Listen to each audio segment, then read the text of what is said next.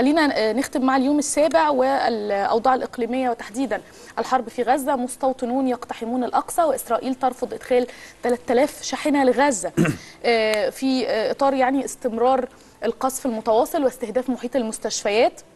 وكمان إغلاق معبر رفح الحدودي ومعبر كرم أبو سالم ومنع إدخال 3000 شاحنة مساعدات يعني أنا أذكر لسه من كام يوم بعد اجتياح رفح ومصر رفضت التعامل مع الإسرائيليين لحين عودة م. سلطة المعبر من من الجانب الفلسطيني يعني. آه. للسلطة الفلسطينية وقتها اتهمت إسرائيل مصر اتهامات. باطلة بانه مصر تمنع دخول المساعدات إحنا بنشوف دلوقتي أهو هي اللي بتمنع دخول إحنا على مدار سبع شهور وأيام تقريبا النهارده اليوم 226 سبع شهور وأيام على الحرب.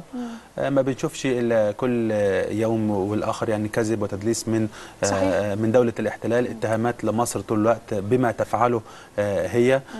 إحنا بنتكلم إنه الحرب واضحة يعني بينة أمام العالم مش محتاجه أي إشارات. أنت بتتكلم عن 35 ألف شهيد حتى الآن ويزيدوا. دي آخر إحصائية بالمناسبة اللي كانت من 48 ساعه أكتر كل ساعة آه في يعني شهداء. انت عندك زيادة. بتتكلم عن 79 ألف مصاب.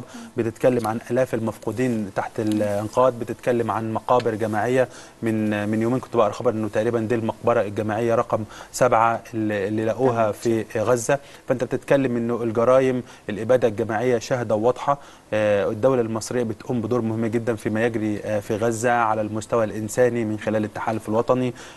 تقريبا لما حصل حصر من أيام بما يتعلق بنسبة 100% من الشاحنات أو المساعدات اللي دخلت غزة كان التحالف الوطني ساهم ب 80% من هذه المساعدات.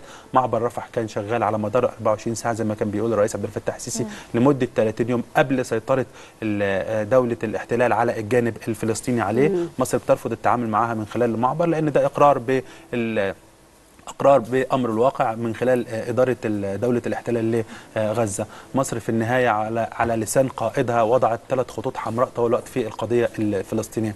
من تقريبا كان الرأي المصري والرؤية المصرية كانت ثاقبة. من 7 أكتوبر بنتكلم إنه مصر اتكلمت عن التهجير للفلسطينيين ورفضته قطعا عن تصفية القضية الفلسطينية ورفضتها قطعا على لسان الرئيس ووزير الخارجية وعلى لسان كل المصادر. الأمنية السياديه اللي بتتكلم وبتصرح سواء كان القاهره الإخبارية أو كل القنوات. نعم. اتكلمت عن إنه السيادة والأمن القومي خط أحمر. بنتكلم عن ثلاث أبعاد مهمة جدا حطتها أو ثلاث خطوط حمراء حطتهم القياده السياسية واتصور إن هم مكملين طوال الوقت لأن الموقف فيهم ثابت. الأمن القومي المصري خط أحمر مش معنى إنه في في تفاوض فهيكون في إخلال بالأمن القومي المصري لأن ده مش هيحصل.